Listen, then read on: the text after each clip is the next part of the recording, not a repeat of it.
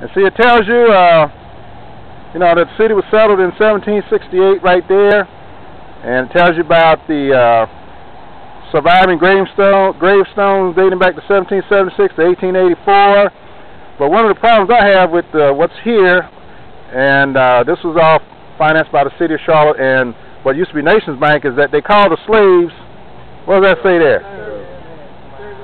Now, what's the difference between a slave and a servant? You know, young lady? You're right. A slave didn't get paid. Very good.